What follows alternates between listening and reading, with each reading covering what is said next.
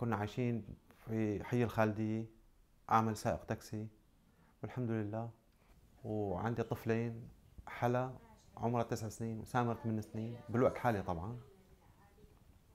والله لوكسمبورغ بلد ممتازة بس مشكلتها بتتعدد باللغات ثلاثة. هي الفرنسي والألماني واللوكسمبورغي. فاولادي الحمد لله إنه مستقبلين التعليم ومنفتحين يعني الحمد لله واذكياء يعني. والله ورحنا على المدرسة عم نتابع أوراقهم وأخبارهم هيك فالحمد لله جيدين يعني. ونأمل إنه يكونوا للأفضل إن شاء الله يعني تعليميا أفضل إن شاء الله.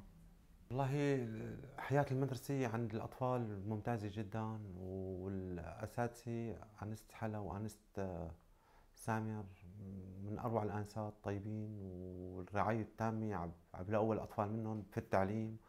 بحالة جيدة. يعني أنا مستغرب إنه كيف طريقة تعليمهم يعني حالة مبهرة يعني. آه، أول ما أجينا على لوكسمبورغ يعني الأولاد كثير فرحوا خاصة ساعة إجانا الخبر إنه ننتقل على لوكسمبورغ. آه، فرحوا وساعة اللي فاتوا على المدارس صاروا يحبوا إنه يقعدوا بالمدرسة أكثر ما يجوا على البيت إنه يتعلموا. وصار عندهم مستقبل يقولوا لي ماما إنه أنا بدي أتعلم هلأ الفرنسي بعدين بدي أتعلم اللوكسمبورغي والألماني.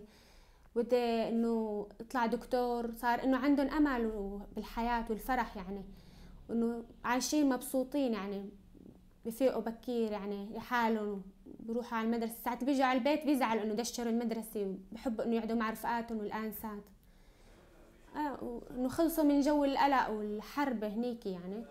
كانوا عايشين يعني بخوف وكل يوم يتخيلوا إنه اليوم بدهم يموتوا إنه في رصاص فوقهم وقصف هون لقوا حياة غير شكل يعني مبسوطين ومرتاحين. صار عندهم أمل يعني المستقبل إنه بدهم يعملوا إنه يطلعوا بالمستقبل إن شاء الله إنه دكاترة.